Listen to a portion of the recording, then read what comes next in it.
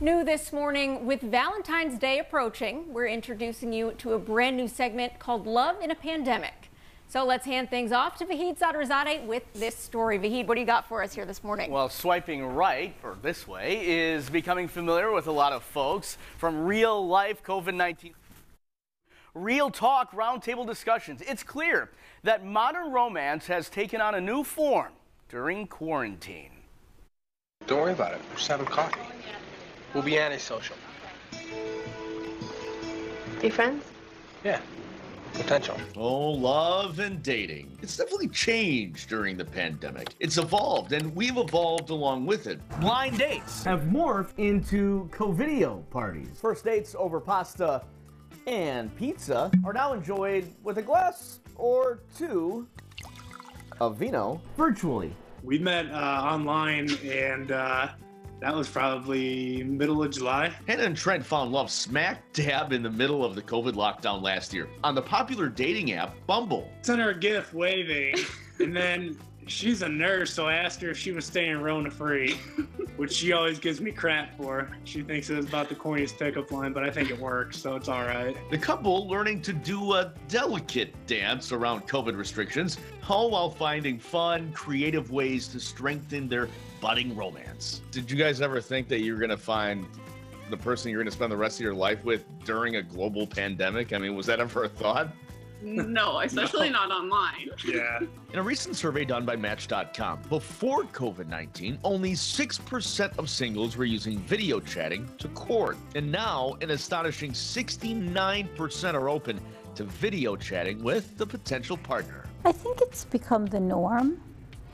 And so the, the difference was when everything first hit, people weren't online dating as much because where would they go? Rita Mitchell and Kathy James are therapists right here in Michiana. Things have started opening up again.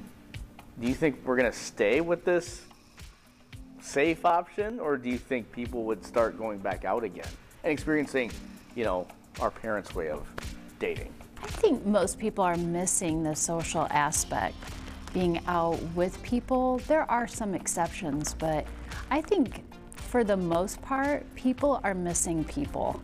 Talking, just being close, seeing people's body language, actually being able to physically touch each other. People are missing that. Whatever works for you is what you think is great and what you're going to continue to do. So while chivalry hasn't officially died. And it's not because I'm lonely, and it's not because it's New Year's Eve. I came here tonight because when you realize you want to spend the rest of your life with somebody, you want the rest of your life to start as soon as possible. It's clear that the good old days of dating, with the help of a global pandemic, has taken on a new form. I did not want to be online, but my friends were like, oh, you should just try it. I'm like, I'm not going to find anybody online. They all suck, but I found him, so. I, I suck a little less, I guess. He doesn't suck that much. Right. and maybe finding love will just be a bit easier if it's already in the palm of our hands. I just got online like for and giggles. Like I wasn't really looking for anybody. Um, and then I actually recognized him on his picture from when we were little. We were at like a party with mutual friends, so I remembered him. That's the only reason I swiped right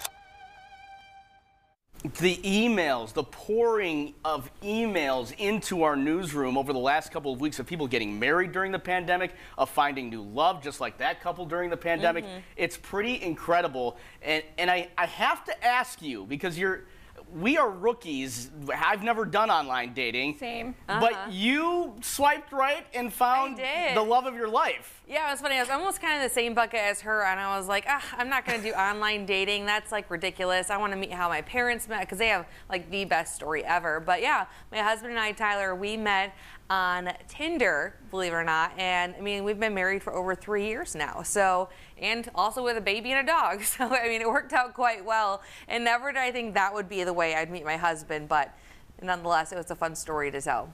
I think that so many more, you know, people are doing that. I think mm -hmm. we're going to have a lot more people, hopefully, like you and your husband, who, yeah. you know, met online and now have a whole family together. Yeah. I mean, because honestly, without it, I don't know if I would have met him just because I Mm-hmm. was living in northern Michigan at the time. I was just back home visiting family. So there's no way we would have run into each other because most of the time I wasn't here. But we're very happy it worked out that way. Well, we are too. We've seen Yes. so many heartbreaking stories during COVID 19, and to Mhm. see some love and some positivity Yeah. coming out of this, I think it's fantastic for everybody. Well, you don't want to miss our entire discussion with Rita and Kathy, who were the therapists we sat down with. Uh, more of your questions answered, plus the do's and don'ts of online dating. That's next week, right here on ABC 57 News at 6:30.